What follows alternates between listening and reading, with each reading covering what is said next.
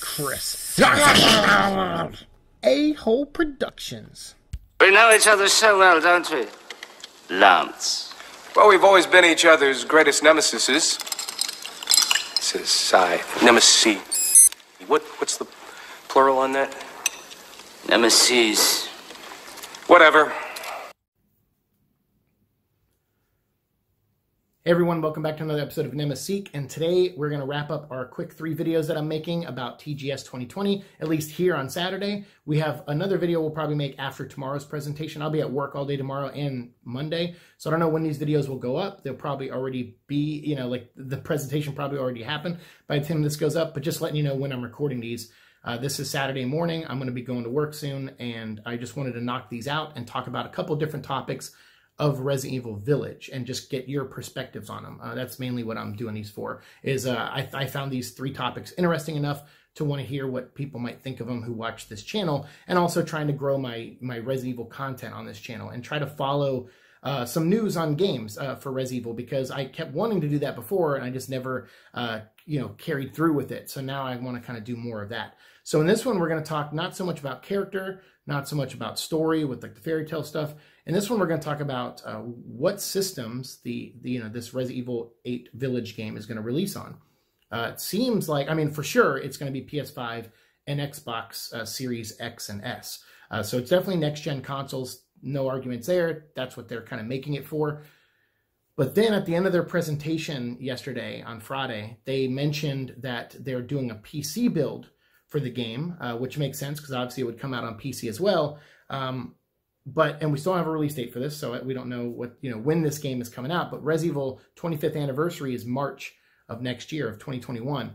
So maybe they'll release it right before the anniversary or maybe right after. I know that Monster Hunter Rise comes out on the 26th of March, which is like four days after the 25th anniversary of Res Evil. So I don't think it'd be smart of them to release two major titles so close together.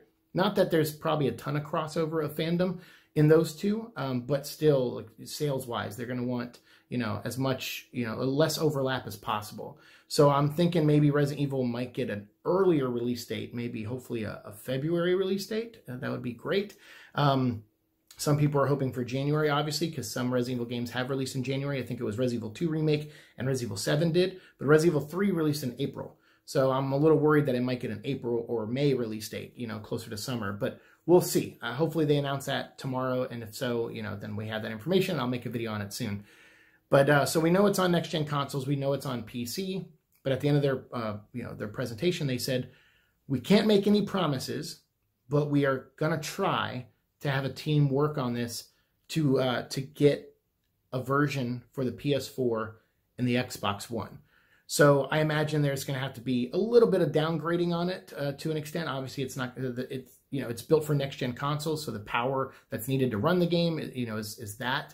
But uh, but but and I also think they said something about having no load times in the next gen versions, so that that could it could affect the game a little bit if they try to downgrade it, and if it if it ruins the integrity too much of the game, they're not going to want to put out a subpar um, you know version of it just to appease people you know who have the who don't have the next gen consoles which you know it's a bummer for me because i just don't have the money right now for a next gen console. I was trying to get that xbox one s for 25 bucks a month but you know it's sold out and it you know you know whatever booked out. So so i if i'm going to get xbox one s now i'm going to have to pay the full price and i'm just not going to have 300 bucks to spend on something uh, like that anytime soon. Um, even if we got another stimulus check i don't think i could afford it. So so i won't have a next gen console probably uh, if the game comes out in January or February. I won't have one by then, but maybe by March or April I will because you know I could do my taxes and maybe use some money from that to get a next gen console.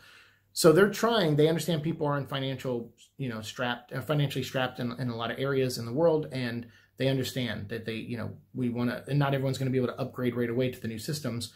So they're working on it. They said they're working on it. They can't promise anything, but they are working on it. To hear them even try is is really awesome with them. They don't really have to do that, but uh, it's great to hear them saying, "Hey, we're trying. We're going to do our best, and we'll if we can get it out there, we'll get it out there for you, no problem." But you know, but we got to work on it. It's going to take a lot of hard work and a lot of man hours and, and people to work on it.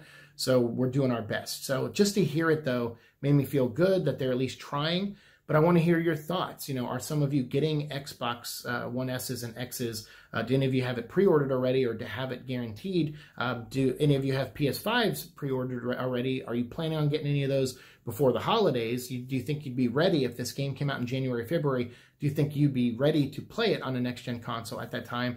I just want to hear your thoughts. Or, or are you like me? Are you in my situation where you just you can't upgrade right now? And probably can't upgrade for the next like four or five months, maybe six or seven months even.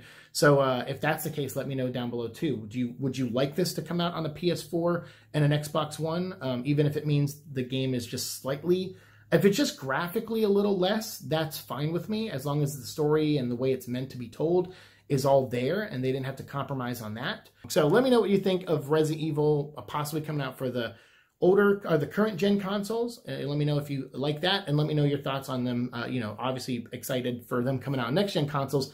I can't wait to play them on next gen consoles one day, but I'm okay with playing them on current gen consoles if Capcom can release them on current gen because I'll get them now. And then when I buy a next gen console, I'll buy the next gen version probably because I don't know if it'll upgrade naturally like on its own because I think there's some games are having problems with that already on PS5 and stuff. So We'll see. But let me know your thoughts, and we'll continue our conversation down in the comment section below.